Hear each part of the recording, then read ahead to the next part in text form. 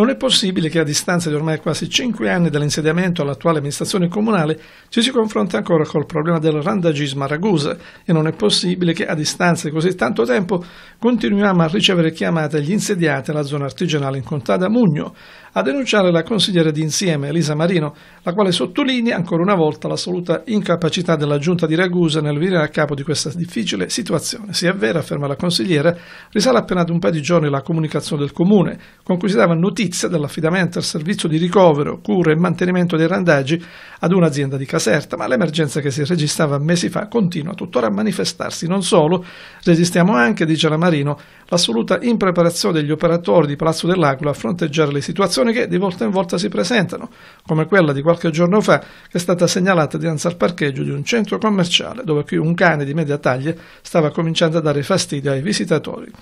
L'intervento non ha garantito comunque risposte esaustive, per cui conclude la Marino la conclusione che ha segnalato il problema avrebbe dovuto farsi carico della custodia del cane. Adesso ripetiamo che non è possibile continuare a confrontarsi con una tale situazione.